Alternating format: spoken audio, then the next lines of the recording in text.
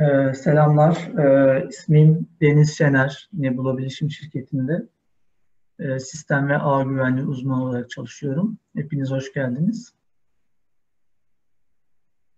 Ee, sunumda sesi duyabilmek için e, join audio yapılması gerekiyor. E, chatten belirttim ama birkaç arkadaşımız galiba kaldı.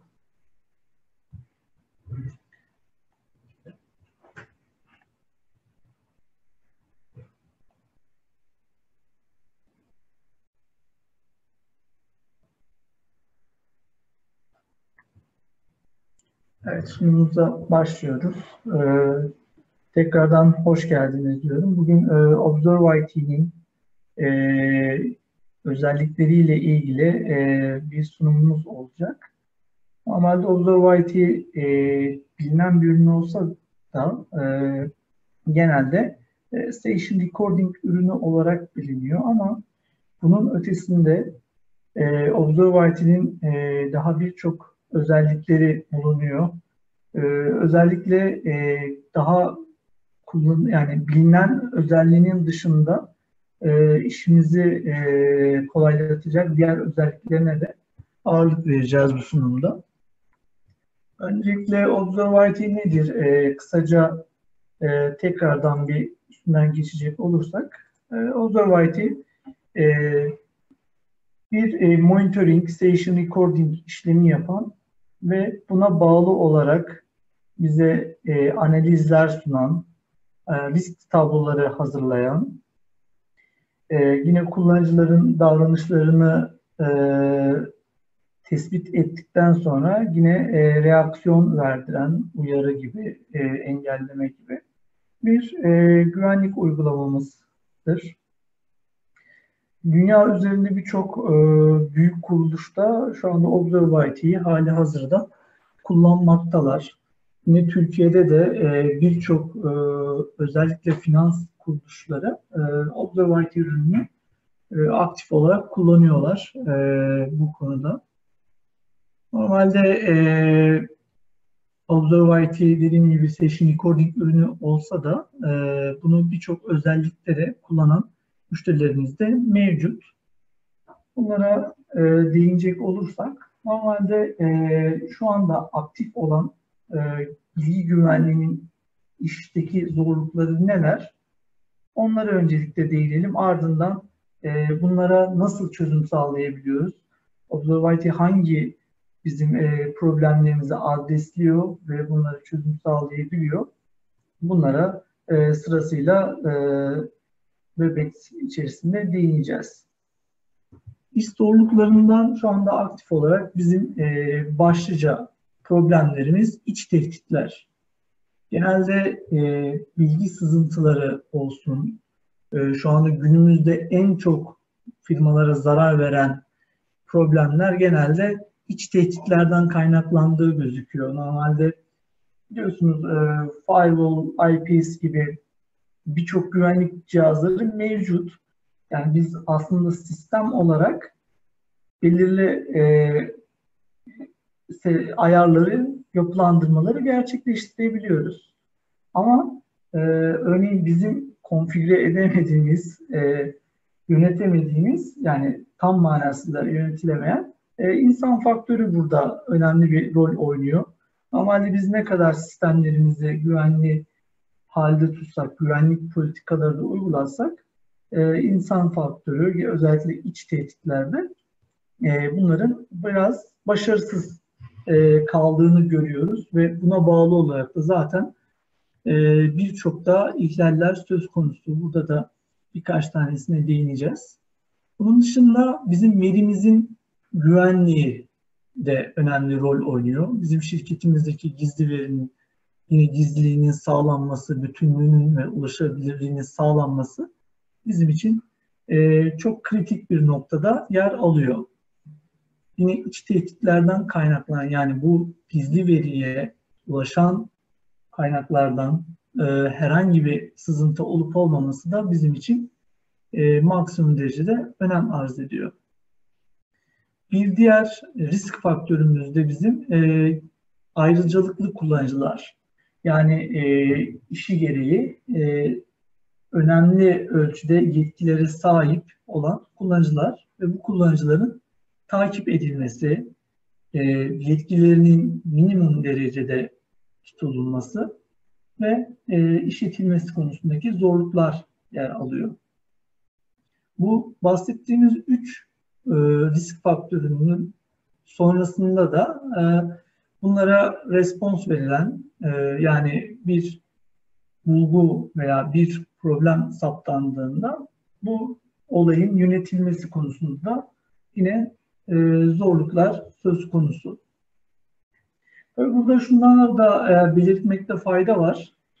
E, evet e, biz bu denetlemeleri gerçekleştirmeliyiz ama şu da çok önemli. E, bu bilgi sızıntısı veya bir e, iç tehditle oluşan bir problem meydana gelmeden önce bunu engelleyebilmek, gerekirse kullanıcılarımızı bilinçlendirmek, eğitmek ve hassas işlemler sırasında kullanıcılara en azından bir uyarı göstermek e, önemli bir faktör. Bu sızıntıların, bu problemlerin önüne geçmekte e, faydalı oluyor.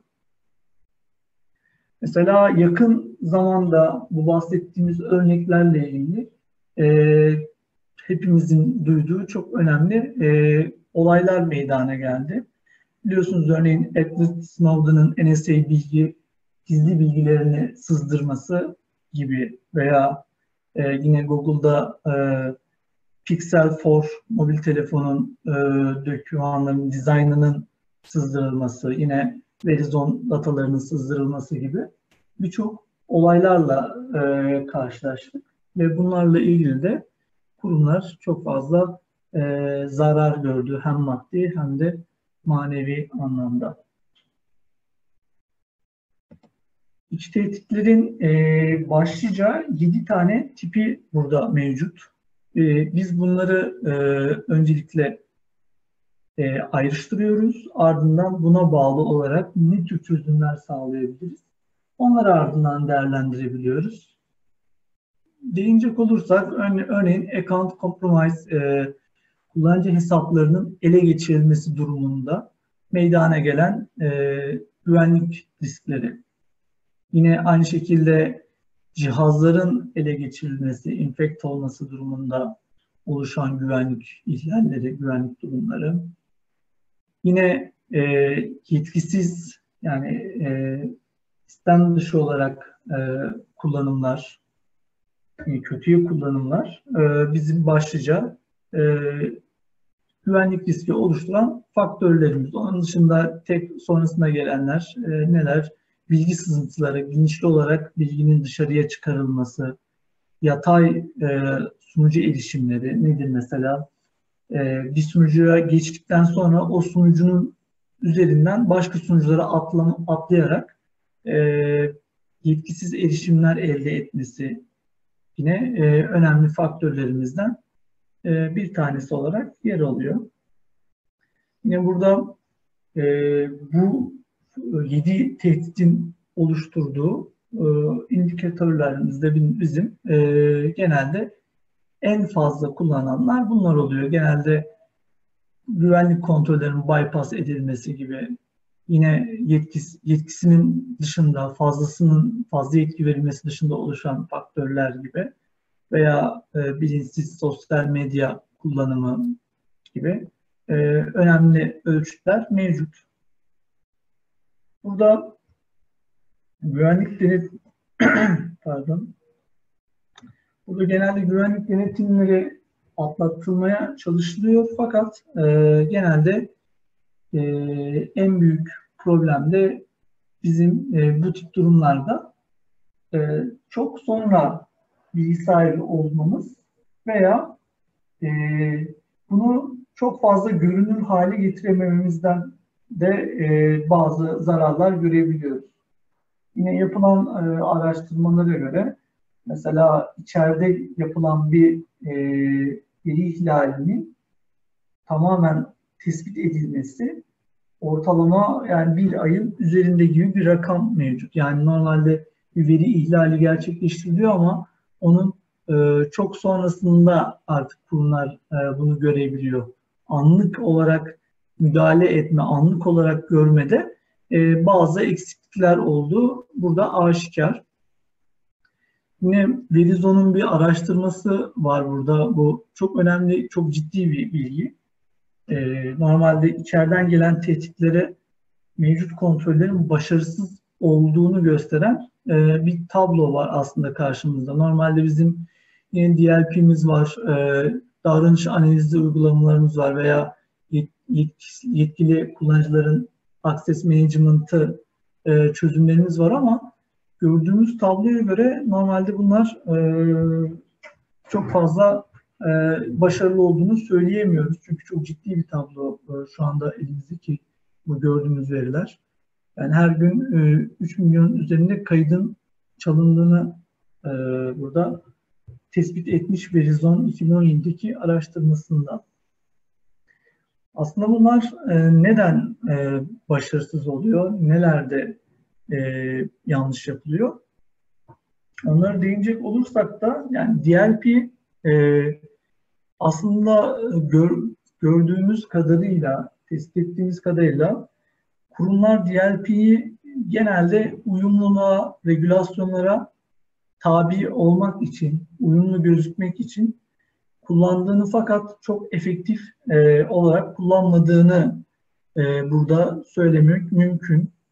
Yine e, yapılan bir araştırmada DLP kullanan müşterilerin %90'ının e, içerik incelemesine ihtiyaç duymadığını ve en fazla yani ikiden fazla kural kullanmadığını yani kullandığı DLP'deki kuralların ikiden fazla olmadığını e, gözler önüne sermiş e, yapılan bu araştırma. Yani aslında bizim DLP'miz var. Fakat e, klasik DLP burada biraz e, yönetmesi e, biraz göz ardı edilebildiğini, yönetmesinin zorluğundan dolayı, takibinin zorluğundan dolayı e, burada biraz e, sıkıntılar yaşadığını görebiliyoruz. Normalde çünkü e, her DLP için e, mevcut kuruma özel kuralların mutlaka e, uyarlanması gerekiyor. Yani normalde DLP kurup hemen hazır kullanmak gibi bir durum maalesef e, ortaya çıkmıyor. Onun dışında e, yine davranış analizi uygulamaları da var. Bunlarla ilgili e, makine öğrenimi vaadiyle e, bu uygulamalar çıktı ama şu ana kadar e, istenilen seviyeye gelemediğini görüyoruz burada da bazı e, istenen seviyeye gelmemesinden dolayı da e, henüz e, bizim veri ihlallerimizi yani şu an gördüğümüz veri ihlallerini engellemede tam manasıyla bir başarı elde edilememiş gözüküyor. Observability'nin e, burada yani bu noktalarda adreslediği kısımlara bakacak olursak bunları biz üç noktada ele alıyoruz. Birincisi user aktivitesi. User aktivitesi e, genelde nedir? Ondan bahset yani nasıl yaptığına bahsedecek olursak kullanıcıların etrafındaki içerik, bağlantı kurdukları uç noktalara ger- gerçekleştirdikleri görünürlük, giriş yaptıkları hesaplar, kullandıkları kimlikler bunların hepsinin kayıt altına alınması anlamına geliyor. Bu kayıt altına alınması e, hem yani bildiğimiz e, video kaydı olarak düşünebilirsiniz. Yani kullanıcının her hareketi bir video kaydı gibi e, video kaydıyla daha doğrusu e, tamamen kayıt altına alınması durumu var. Bunun dışında da e, metadata dediğimiz bilgilerle kullanıcının yaptığı işlemleri yorumlayan, bize özet gösteren bir e, davranış çıktısı e, yer alıyor. Örneğin şu kullanıcı e, işte registry'e girdi, bir tane kayıt ekledi. E, ardından çıktı, işte CMD'de şu komutu çalıştırdı gibi e, aktiviteleri de bize rapor halinde, bir döküm halinde sunabilmesi anlamına geliyor.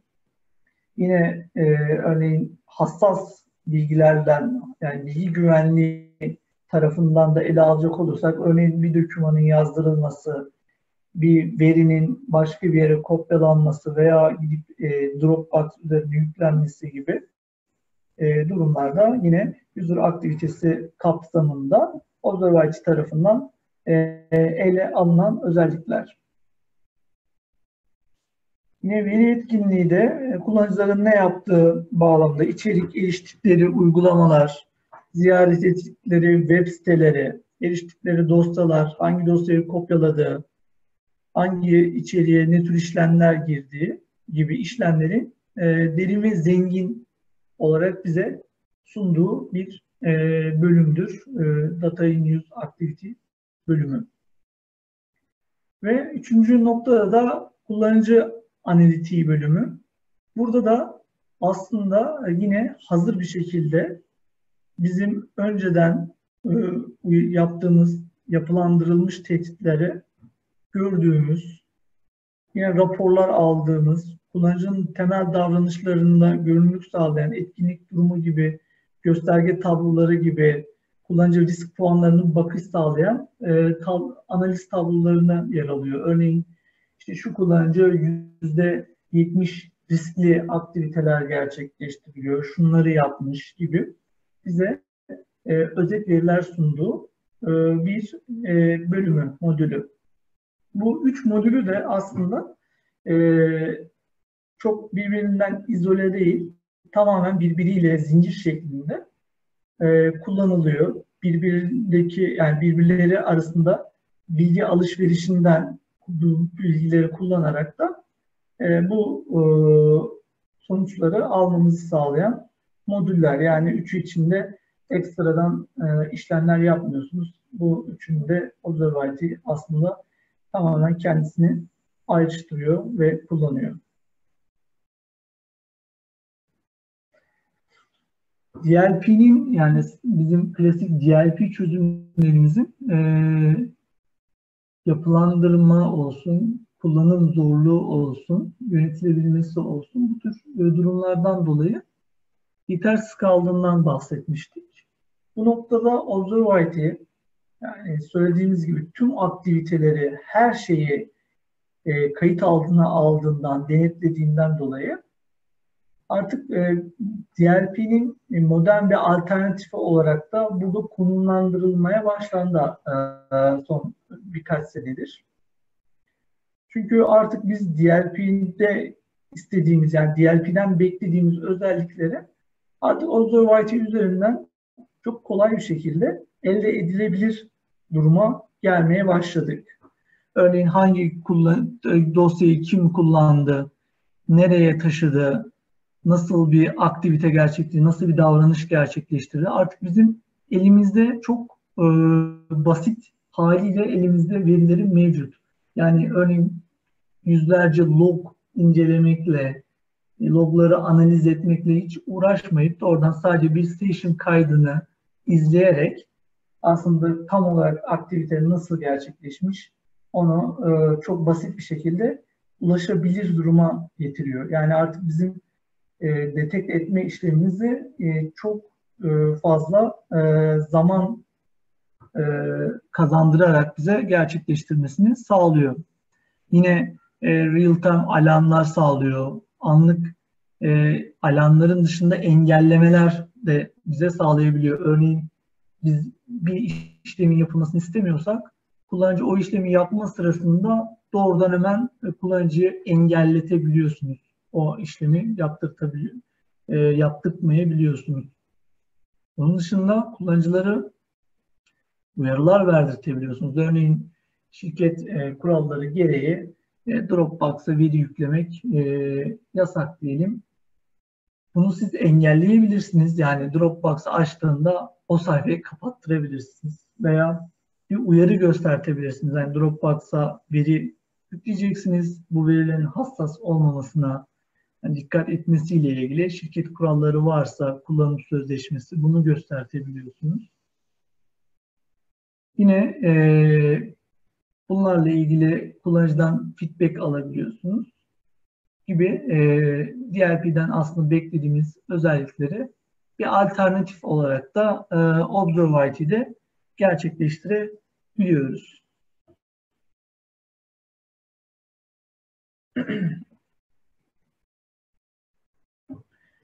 Biliyorsunuz e, iç tehditlerden en önemlisi bizim zaten veri sızıntıları. Yani en zarar gördüğümüz, e, karşılaştığımız yani okuduğumuz, karşılaştığımız en fazla e, haberlerde yine veri sızıntıları ile ilgili. Yine maddi manevi şirket itibarı olsun, maddi olarak şirketlerin batmasına kadar giden e, problemler meydana getirdiğini e, önceki e, geçmişte görebildik. Veri sızıntıları nasıl gerçekleşiyor? E, ona bakacak olursak genelde son kullanıcının e, veri sızıntısını sağladığı işlemler e, dosyanın hassas dosyanın yazdırılması, USB üzerine atılması, işte biraz önce bahsettik e, Dropbox'a veya Google Drive'a yüklenmesiyle dışarıya sızdırılması veya e-posta eteçiyle dışarıya sızdırılması şeklinde görebiliyoruz. Bunları yine e, bizim Data in Use Activity Recording özelliğimizle, e, Observability'nin özelliğiyle bunları çok basit olarak e, görebiliyorsunuz. Yani bir e, satırla size söyleyebiliyor. Yine bu aktiviteye tıkladığınızda station'ını izlemeniz mümkün olabiliyor. Yine bunları engelletmeniz de e, bahsettiğim gibi mümkün. Bunları nasıl yapabiliyoruz? E, neler yapabiliyoruz? Onlara gelecek olursak ERP'de e, bahsetmiştik konfigüre edilmesi gerekiyor. Bunun bizim e, ihtiyaçlarımıza yönelik demiştik. Burada Observability'nin sağladığı e, güzel bir özellik var. Bu da e, endüstri uzmanları tarafından oluşturulan e, built-in e, tehdit kütüphanelerinden e, faydalanması. Yani burada e, yani Observability için çalışan endüstri uzmanları ne tür faaliyetler, ne tür riskler var bunlarla ilgili çalışma gerçekleştirerek bize hazır bir şekilde e, kurallar, kural e, kütüphaneleri sağlanmasını e, destekliyor burada. Yani siz bir e, uygulamayı sıfırdan da kursanız Observability uygulamasını yani burada kurallar hazır bir şekilde size geliyor. Yani hiçbir şey işlem yapmasanız dahi aslında sizin e, ajan kurduğunuz makinedeki aktiviteler artık e, kayıt altına alınıyor, yorumlanıyor, size e, gerekli alarmlar üretiliyor e, gibi aksiyonları alabiliyor. Ve bunları e, biz e, veya siz talep ettiğiniz durumunda isterseniz eklemeler yapabiliyorsunuz, isterseniz e, kastomizasyon, e, özelleştirme gerçekleştirebiliyorsunuz. Bunları istediğiniz gibi aslında e, oynayabiliyorsunuz. Burada tamamen e, esneklik tamamen size ait. Ama zaten önemli olanları e, yani sektördeki endüstri uzmanlarının yaptığı e, araştırmalarla ilgili hazır kurallar var. Ama sizin kendi istediğiniz özel bir özellik varsa da onu uygulatta biliyorsunuz.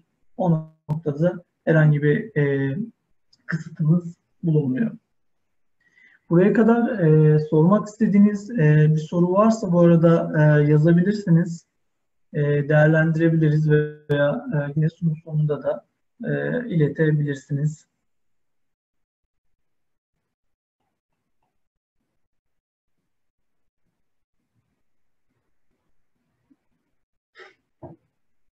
Devam ediyorum. Burada e, Observability'nin sahip olduğu üç yönlü yaklaşım e, ayrıntısı bulunuyor. Bunlar e, görünürlük, tespit ve olayı zamanında önleme e, olarak belirtebiliyoruz. Yine tespit kısmında endüstri uzmanları tarafından oluşturulan bu kurallar ve zengin analitiklerden faydalanarak içeriden gelen tehdit kütüphanesince yüzlerce önceden yapılandırılmış işte göstergeler e, bize neydi? E, görünürlüğü sağlıyor demiştik. Bunları bize e, veriyor demiştik.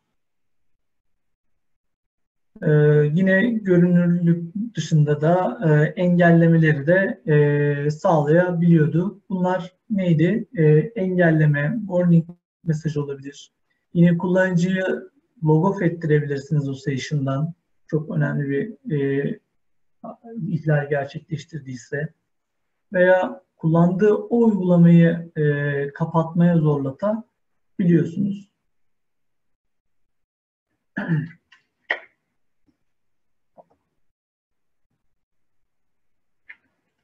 Normalde biz e, bilgi güvenliği 2002 e, 2000'e e, şu e, sorulara yöneltiyoruz. Bunlarda ne derecede e, bilgi alabiliyorlar? Yani siz e, hangi kullanıcıların, ne kadar kullanıcının e, görünürlüğüne sahipsiniz? Ne kalitede görünürlük alabiliyorsunuz? Ne derecede? Bunların arasında arama yapabiliyor musunuz? Ee, örneğin neleri kaydı, e, takip ediyorsunuz veya neleri takip etmiyorsunuz? Bunları ayrıştırabiliyor musunuz? Bu bilgiler güvenli şekilde sağlanıyor mu ve e, regülasyonlara uyumlu mu? Bunları e, aslında biz denetliyoruz ve ardından e, o bu e, sorulara yönelik de çözümlere e, özelleştirmeler sağlayabiliyoruz. Tamamen ihtiyaçlarınıza uygun e, yönlendirebiliyoruz, yapılandırabiliyoruz. e, Arda Bey'in e, bir sorusu var. Üzerinde demo yapacak mısınız e, diye soruyor.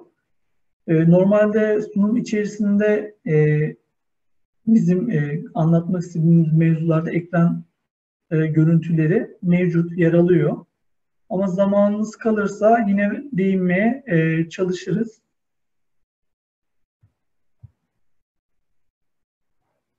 Eğer varsa da hani özellikle görmek istediğiniz bir kısım ona e, özellikle değinebiliriz. Veya e, sunumda yer almıyorsa da demo üzerinden de göstermeye çalışırız.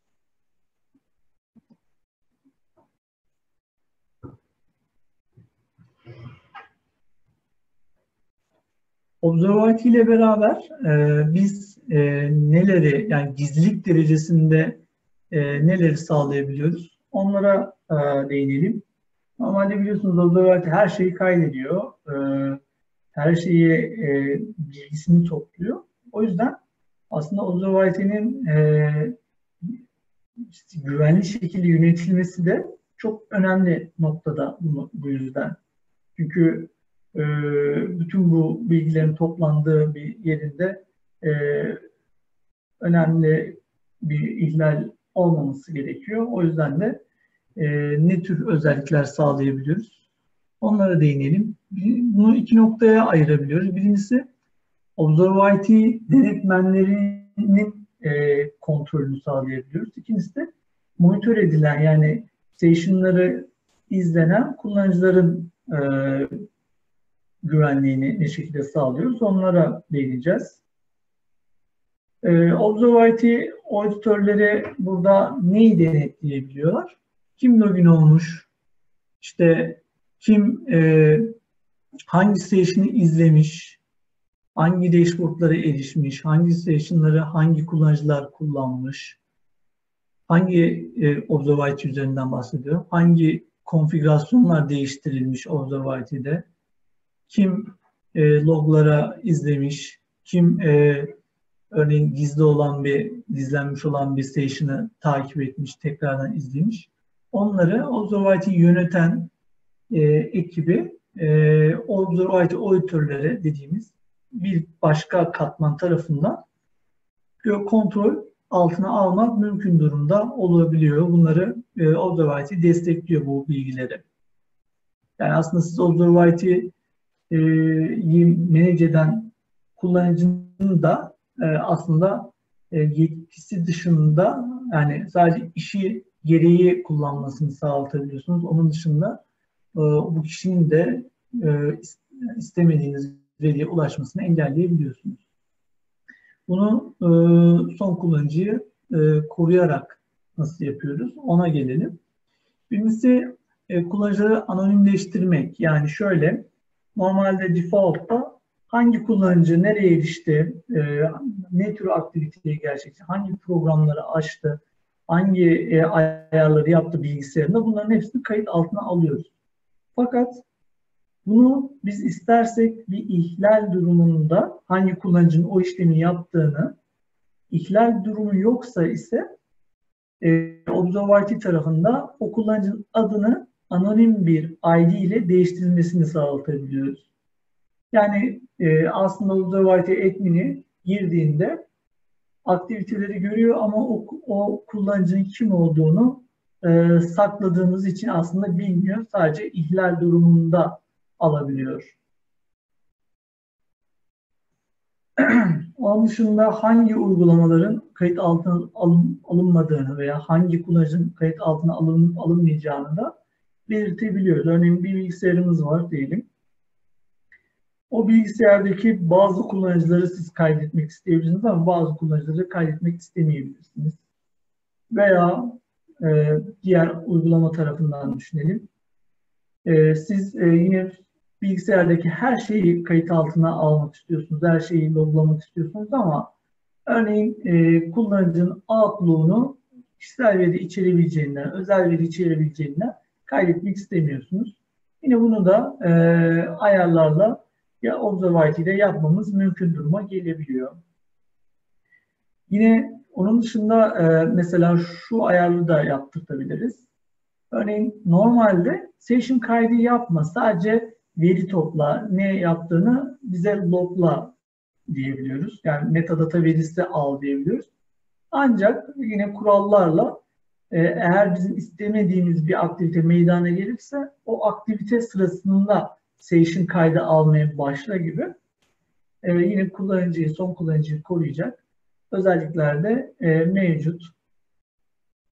Yine kullanıcıları uyarabiliyoruz. Hani e, bir işlem gerçekleştirdiğinde kullanıcı bilgi sahibi olmadığı için de gerçekleştirme ihtimali elbette mevcut. O yüzden e, riskli bir işlemde e, mevcutsa, gerçekleştiriyorsa gerçekleştirmeden önce hemen bir pop-up gibi bu Windows saatinin altında, yanında bir uyarı göstertebiliriz e, kullanıcıya.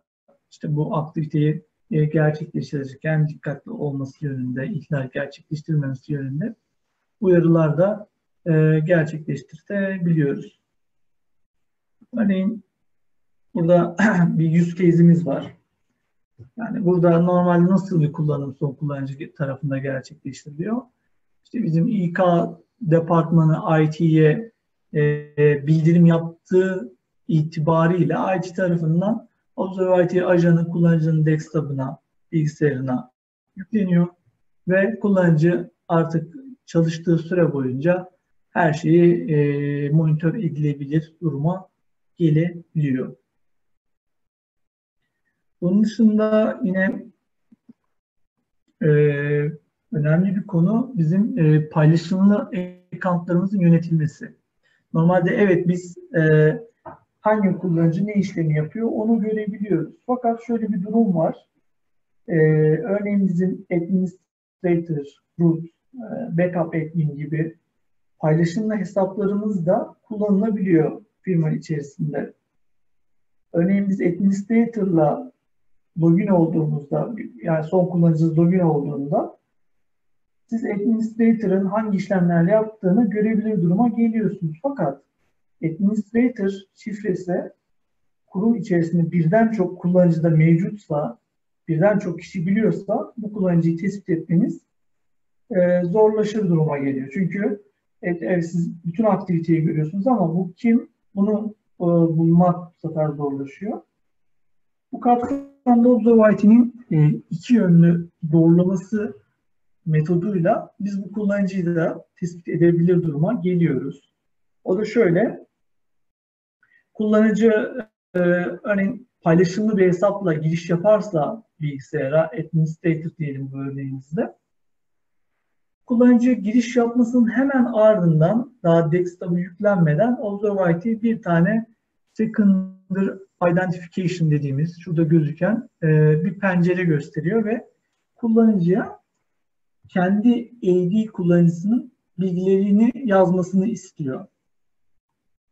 Ve kullanıcı ancak bu bilgiyi yazarsa yani kendi AD bilgisini yazarsa bir, e, bu bilgisayara ulaşabilir duruma gelebiliyor. Bunu yazıyor. Yazdıktan sonra e, administrator'la girdiyse yine administrator'la session'ı açılıyor ve tüm işlemleri administrator'la yine gerçekleştirmeye devam ediyor. Kullanıcı tarafından hiçbir e, aslında değişen bir şey olmuyor. Ama bunu artık Observability biliyor. Yani administrator yapılan bir işlem ama bunu biliyor ki artık e, bu AD kullanıcısıyla login olan kullanıcı yapmış ve bu kullanıcının risk faktörünü etkileyen işlemler gibi e, diye bunu artık biz analiz edebilir duruma gelebiliyoruz.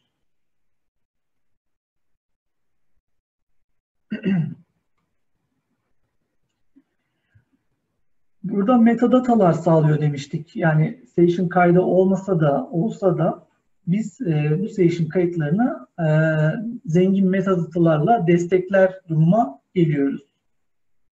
Çünkü e, bu ne işe yarıyor? Birincisi çok fazla uzun session kayıtları olsa da örneğin bir ihlal durumunda biz bu session kayıtlarını en baştan izlemeniz e, uygulama açısından çok e, mümkün olmuyor. O yüzden biz e, Observability daha doğrusu e, her station için bir metadata verisi topluyor ve size özet bilgiler sunuyor.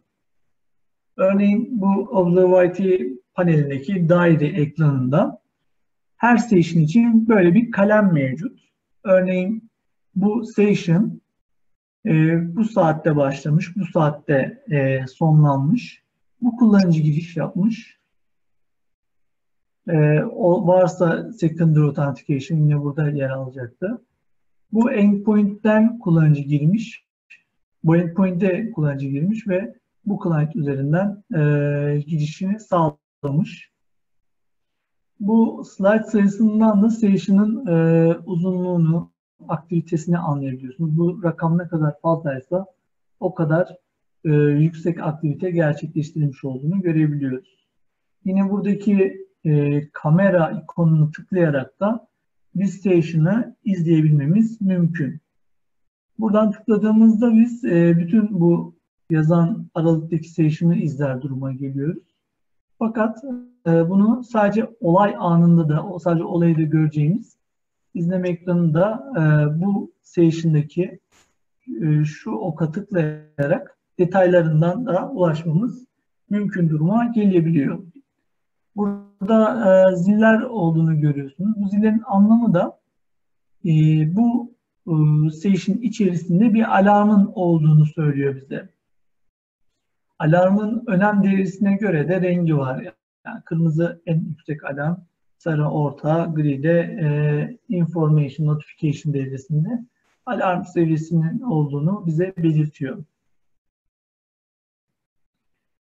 Buraya tıkladığımızda e, neler geliyor hemen ona da bakalım. Yani ben şu anda şu session'ı buradaki oka tıklayarak e, açtım. Açtığımda session'ın bu sefer yani bir, bu tıkladığımız oturumun dökümünü bize söyler duruma geldi artık. Örneğin e, hangi saatler arasında neler yapmış?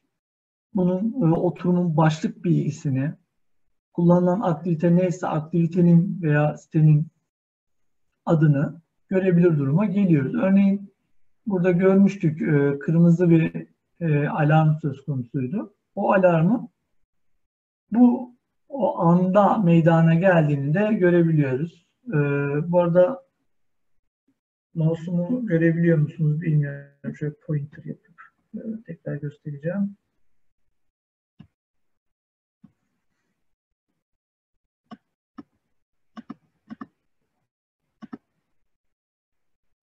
Evet.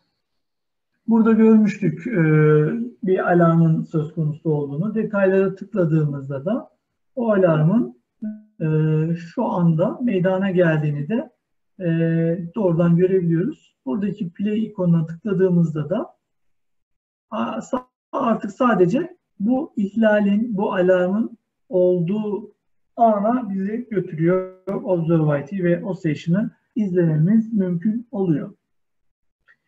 Alarm olması sebebi de e, Chrome'dan e, YouTube'da e, bir tane e, video izlemiş. Videonun ismi de e, gözüktüğü gibi Crack Password içerikli bir e, bilgiymiş. Bu sebepten de Observability bunu e, alarm olarak bize sunmuş gözüküyor. Bu arayüz bizim Windows ve Mac bilgisayarları için e, gördüğümüz arayüz. Linux'ta biliyorsunuz e, komut satırı farklı. E, eğer ki Linux'ta gerçekleştirilen bir aktivite ise de onu biz e, komut bazlı olarak da bu şekilde e, görebiliyoruz. Burada hangi komut çalıştırılmış, tam e, parametreleriyle nasıl çalıştırılmış, hangi outputlar almış bunları e, bu bilgileri tıklayarak görebiliyoruz veya play ikonlarına tıklayarak e, izleyebilir duruma gelebiliyoruz. Yine bir diğer, e, diğer güzel özellik de Linux için e, SFTP stationlarının da loglanması. Yani SFTP biliyorsunuz e, farklı bir protokolden, e, 22 portundan ama farklı bir protokolden konuşuyor.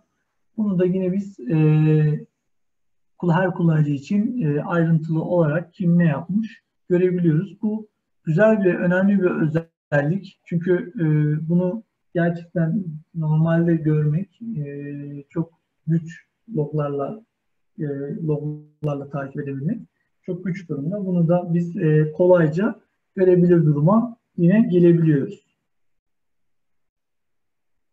Metadatalar gördüğümüz şekildeydi, bu şekildeydi. Örneğin bir ihlale ait station'ı izlemek istediğimizde ise e, bu şekilde e, bize ekran kaydını Observit sunabiliyor. Burada gördüğünüz gibi e, station kaydı siyah beyaz gözüküyor. Bunun sebebi e, bu e, datanın, e, bu verinin e, küçük bir yer kaplamamız, kaplamak istememizden kaynaklanıyor. Yani normalde database'de e, renkli saklanması biraz daha fazla yer kaplayacaktır.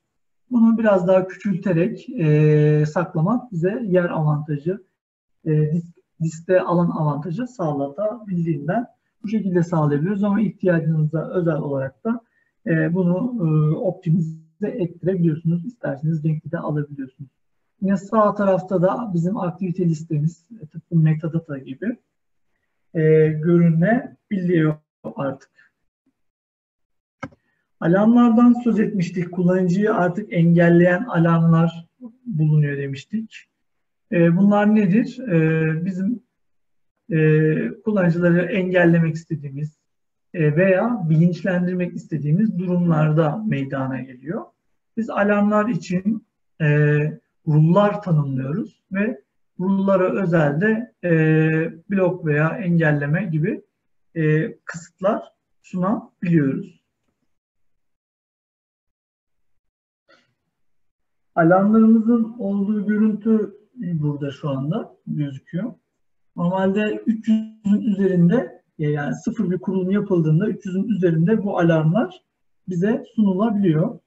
Bunları customize edebiliyoruz demiştik. Ee, bunların e, kategorileri de yine mevcut. Mesela işte data e, sızıntılarına karşı veya shell ataklarına karşı veya ayrıcalıklı parola yönetimlerinin, account yönetimlerinin özelinde de e, kategoriler mevcut. Bunları istediğinizi e, istediğiniz şekilde yine customize edebiliyorsunuz. Bunları yaptıktan sonra e, biz herhangi bir işlem yapmaksızın artık risk tabloları alabilir duruma geliyoruz. Bunları risk tabloları da, risk analizleri de tamamen e, kullanıcıların yaptığı davranışlara özel. Zaten biz bilgileri toplayabilir durumdayız. Dolayısıyla bunları e, observability yorumlayarak varsa bizim aldığım, aldığı alertlere göre de e, bir risk skoru çıkartabiliyor. Örneğin gördüğümüz e, sayfada örneğin TAL kullanıcısı %100 risk skoruna sahipmiş. Yani çok riskli bir kullanıcı olduğunu görebiliyoruz %100 olduğundan dolayı. Bunun sebebi ise işte %86 bazında bizim riskli uygulama olarak belirlediğimiz uygulamayı kullandığından dolayı. Bu uygulamaları ve alertleri e, siz kendinize göre düzelt, düzenleyebiliyorsunuz. Burada kurum tarafından bu uygulama riskli olarak belirlenmiş ve e, istenmeyen parolaları da e, pardon istenmeyen rule'ları da kullanıcı e, ihlal etmiş gözüküyor. Örneğin şurada baktığımızda 108 tane e, bu kuralı match etmiş. 27 kere yine bir başka kurala match etmiş. Yani çok fazla e, rule'lara match ettiğinden dolayı da risk seviyesi bu kadar yüksek e, duruma geliyor. Ve biz böylece artık kullanıcıların e, profillerini de ortaya çıkartmış ol, oluyoruz. Mesela bir başka kullanıcıya baktığımızda örneğin burada biz kullanıcının e, mining, e, kripto para üretimi aktivitesiyle ilgili e, bulguları olduğunu görebiliyoruz. Örneğin cryptominingblog.com'a gitmiş örneğin. E, yine bir download etmesi söz konusu. Bu şekilde artık kullanıcıları profilleyebilir duruma gelebiliyoruz. Yine bir başka kullanıcı da e, örneğin bir tane e-posta almış ve bu e-posta phishing e-postası olduğundan dolayı e, oltalanmış gözüküyor kullanıcı ve e, çok önemli finans mesela e, grubundaymış finans kategorisinde finans bölümünde çalışan bir kullanıcı. O yüzden bu da e, çok önemli bir bulgu olarak bize yansıyor phishing e-postası alması. E, çok e, önemli sonuçlar doğuran e, bir aktivitenin başlangıcı olarak görebiliriz. Yine bir başka e, kullanıcımız da e, USB ile e, veri sızıntısı gerçekleştirdi. Alarmlar e, yakalanmış bu şekilde e, bir e, ihlalde görmüş oluyoruz. Biraz hızlandıracağım diğer e, konuları yetiştirebilmek için. Burada yine user'ın e, historik olarak da e, yaptığı aktiviteleri e, görmemiz mümkün olabilir duruma geliyor. Bunlarla ilgili yine raporlar alabiliyorsunuz. Bunları varsa ekskluzif raporlarda sunma ihtiyacınız bunları da sunabilir duruma gelebiliyorsunuz. Burada örneğin uyarı belirtiyoruz demiştik. Orada bir görüntüsü mevcut. Yine buradaki e, logoyu kendi logonuzla değiştirebilirsiniz. Yine teksti kendi logonuzla e, değiştirebilir durumdasınız. Yine örnek bir bloklama mevcut. E, MMC Registry Editör'de e, bir e, objeyi editlemek istediği için e, burada da e, bir bloklama mesajı göstermişiz kullanıcıya. Yine burada da e, uygulamayı kapattırmışız. Çünkü e, CMD'de e, istemediği bir istemediğimiz bir işlemi, aktiviteyi gerçekleştirdiği için uygulamanın kapanacağını burada belirtmişiz. Mesajı okuması için e, kapanmadan önce böyle bir bloklama mesajı gösteriyoruz. Ardından şurada yazan rakamdan sonra, saniye sonra da e, uygulama bir mesaj gidiyor. İsterseniz bundan feedback de isteyebiliyorsunuz kullanıcıdan. Yine engelleme mevcut. Burada da Linux üzerinde kullanıcının gerçekleştirdiği e, bir komut sonrasında e, bu komutu nasıl engellediğini görebiliyoruz. E, Burak Bey'den bir soru gelmiş. Uygulamanın server, network ve client tarafındaki kaynak ihtiyaçları nelerdir diye.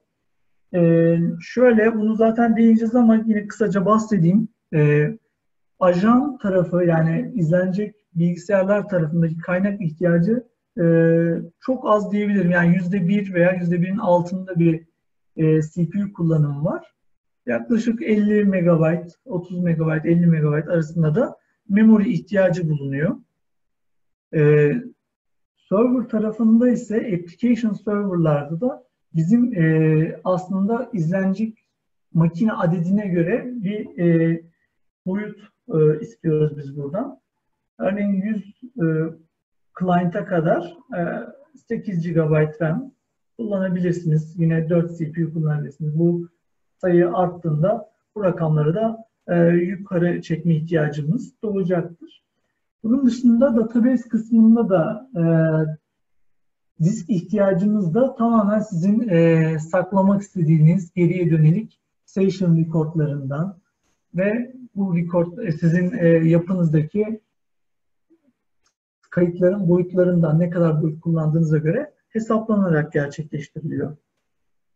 E, yani bunu çok net bilgi verebilmek için e, dediğim gibi e, session sayıları, izlenecek uygulamaların sayısı, izlenecek kullanıcıların sayısı, makinaların sayısı bunların tümünün e, önemi yüksek.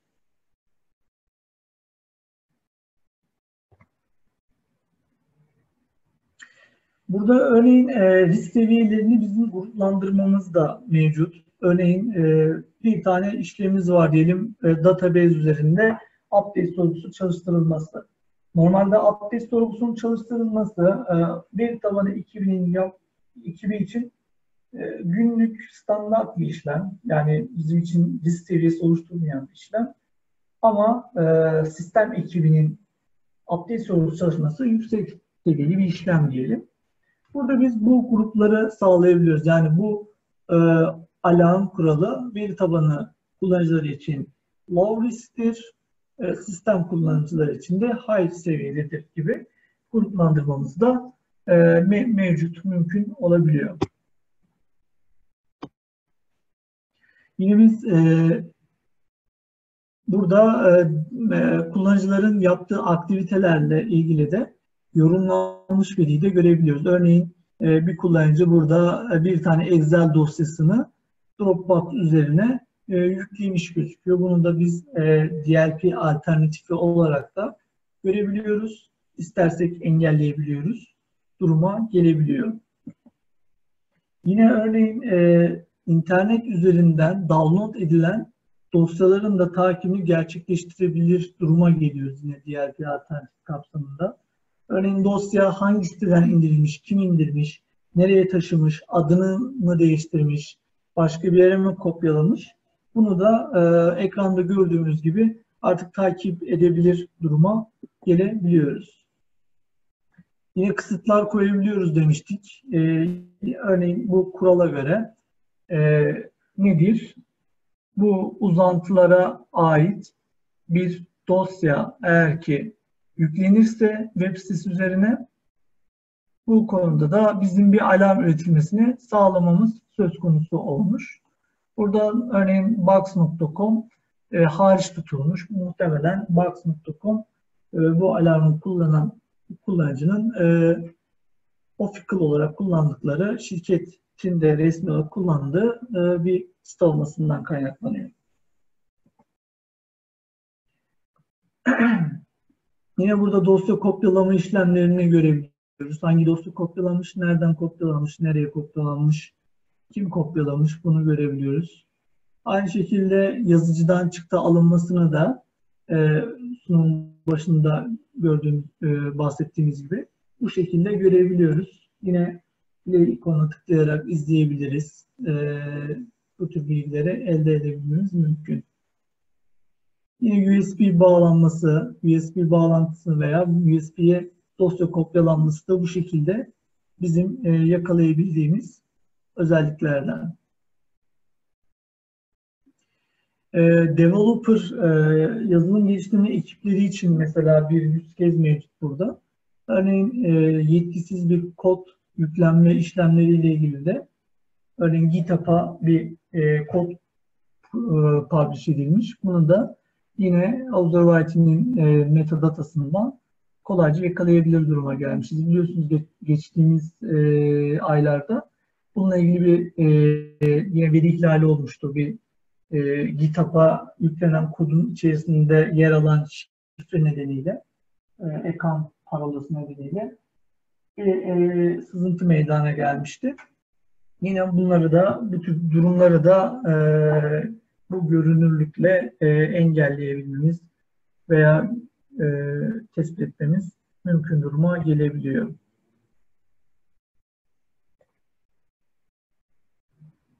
Yine USB'ye kopyalanan e, verilerde yine bu şekilde bizim e, görünürlüğümüz e, altında mevcut.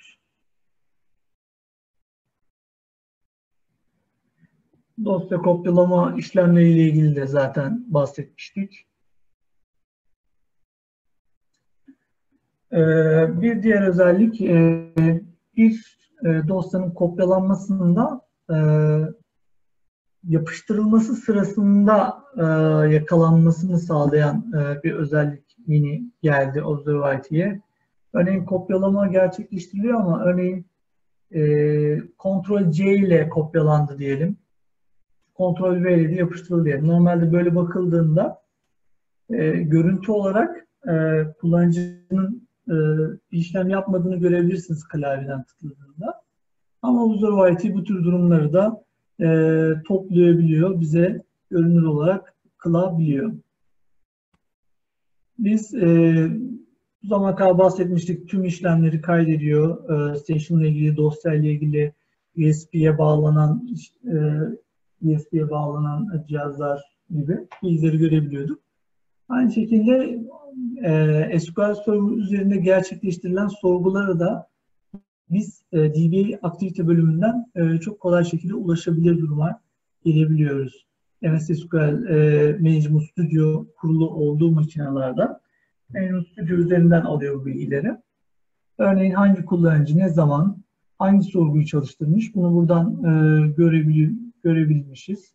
Yine play ikonu tıkladığımızda da e, o aktiviteyi izleyebilir duruma gelebildik.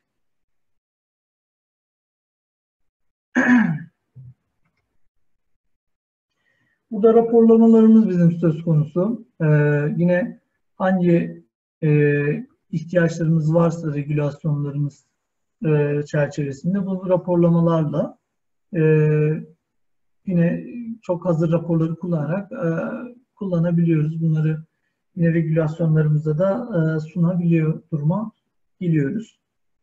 Örneğin e, kullanıcıların gerçekleştirdiği fail aktivitelerinin doğrudan bir raporunu e, hemen e, birkaç tıkla yakalayabiliyoruz. Yine Observability admininin gerçekleştirdiği aktiviteleri raporlarla alabiliyoruz.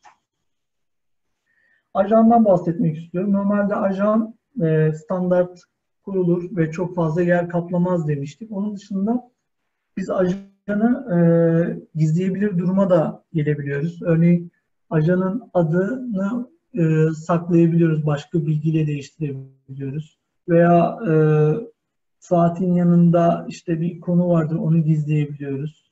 Veya tam tersi e, bunu göster gösterebiliyoruz. Örneğin kullanıcıya station'ın kaydedildiğini belirten bir e, uyarı da e, verdirtebiliyorsunuz. Yani ajan full e, kastimize edilebilir şekilde, istediğiniz şekilde uyarlayabiliyorsunuz. Kullanıcıları anon, anonimleştirir demiştik Observability adminlerinin e, her station'ı yani bilgisi yetkisi olmayan station'ları görmemesi için bunu anonimleştirebilir demiştik. O da bu şekilde. Gördüğünüz gibi geçmiş slaytlarda kullanıcı adı, parola, e, pardon kullanıcı adı ve e, diğer bilgileri yer alırken şu anda e, sadece böyle bir ID'sinin olduğunu görüyoruz Observability üzerinde.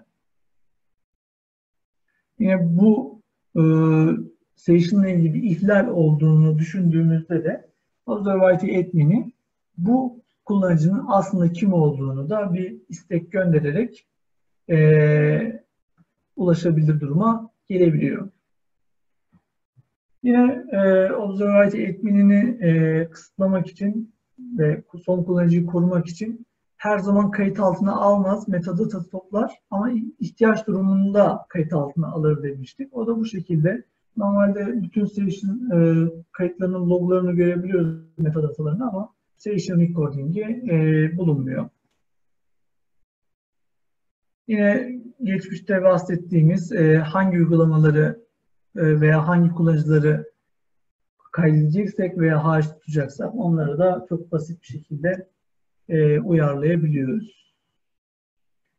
Yine kullanıcılar örneğin e, kendi internet bankacılığına giriş sağlayabilir. Bu tip bilgileri de kaydolmaması için yine bunları e, kategori bazında veya web site URL bazında da arş tutabilmemiz mümkün duruma gelebiliyor.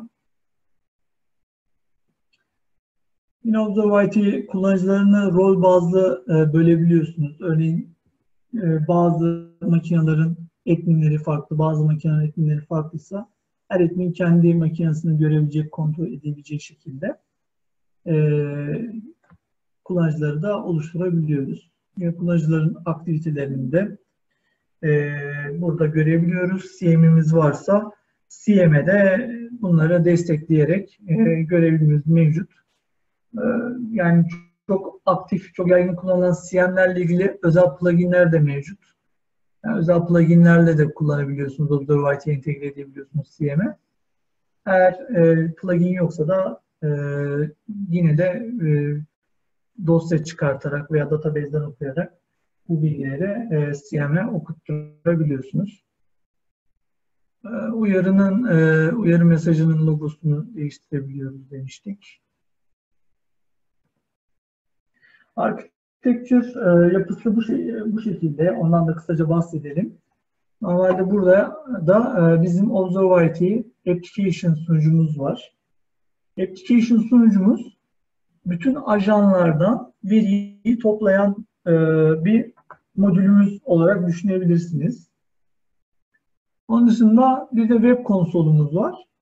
Web konsolumuz ise e, Observability admininin Observability yönetim paneline ulaşabileceği bir modül olarak düşünebiliriz. Yani bu iki ana modül var bizde. Bir de üçüncüsü SQL. E, bir de SQL database'e ihtiyacımız bulunuyor. SQL database'de de yine e, session recordlarını ve diğer bilgileri kaydedebiliyoruz. Burada bizim hangi e, cihazımız varsa, bunlar işte desktop olabilir, sanal VDI olabilir, laptop olabilir, lokal server olabilir, terminal server olabilir. Bunların hepsine ajan kurduğumuzda kayıt ediliyor ve artık e, Observability'nin application server'ına bu bilgileri gönderebilir duruma geliyor. Yine burada bir başka topolojimiz yer alıyor. Burada sadece örneğin şu makinede e, keylogger özelliğini açın. USB e, bağlantısını kontrol edelim. Başka makinede başka özellikleri kontrol edebilirim gibi e, sunuculara özelde politikalar e, sağlatabiliyoruz. Örneğin gördüğünüz gibi.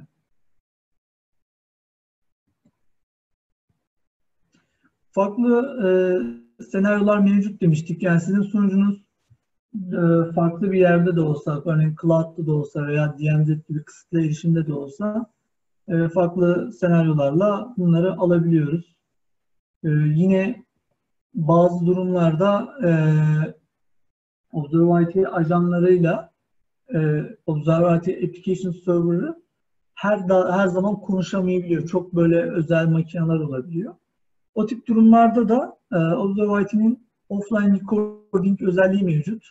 Offline recording ile e, station'ları kendi üzerinde tutuyor ve ne zaman bağlantı sağlarsa o zaman e, application server'a yükleyebiliyor. Bunları biz e, ajan sayımıza göre application server'ı e, yine yatay olarak da çoğaltabiliyoruz. Bunları e, da yine yük dengeleme için de kullanabiliyoruz veya e, farklı farklı bölgeleriniz varsa da bölge izolasyonu içinde ayırabiliyoruz. E, entegrasyonlarımız var. E, entegrasyonlarımızdan da kısaca bahsedeyim. E, çok da fazla bekletmek istemiyorum. Biraz süremizi açtık. E, örneğin call center entegrasyonumuz mevcut. Call center entegrasyonumuzda da normalde e, call center görevlisinin uygulama makinesi kayıt altına alınmıyor diyelim bu senaryomuzda.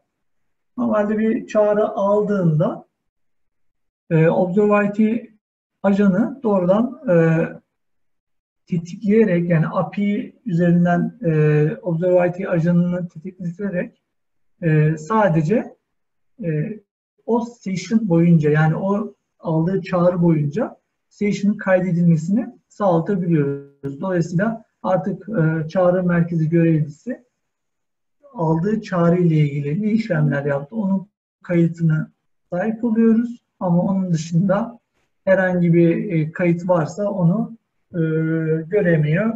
Tamamen observability ve son kullanıcıyı koruma maksatlı bir e, yöntem sağlıyor. Bunun dışında da şöyle ki bir diğer özellik takibini sağlıyor. Örneğin buradaki örnekteki Steve eğer bu çağrı ile ilgili bir makineye bağlanıyorsa örneğin o makineye bu çağrıdaki e, ticket ID'sini girerek de e, o ticket için bu işlemi yaptığını da kayıt altına almış oluyor. E, sunumum bu kadardı. E, katıldığınız için ben teşekkür ederim. E, varsa sorularınız, sorularınızı e, yanıtlayabilirim.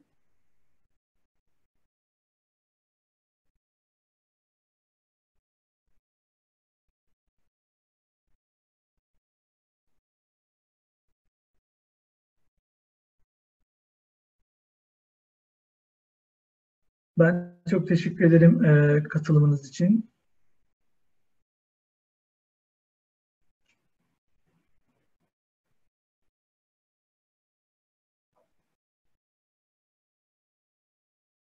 Sanıyorum e, sorumuz yok. E, ben e, chat bölümüne e-posta adresimi yazıyorum. Eğer ki e, ürünle ilgili herhangi bir sorunuz olursa dilediğiniz zaman e, benimle iletişime geçebilirsiniz. Veya e, Arda Bey sormuştu. E, kusura bakmayın hani e, zamanımız kısıtlı olduğu için gösteremedik ama varsa demo talebiniz veya aksiyon bazı hani şu özelliği görmek istiyorum gibi bir talebiniz olabilir. Bunlarla e, ilgili iletişime geçerseniz gerek demo gösterimi gerek sizin lokasyonunuzda kurulumu gösterimini de sağlayabiliriz. E, tekrardan teşekkür ederim katılımınız için. E, herkese e, iyi günler dilerim. İyi çalışmalar.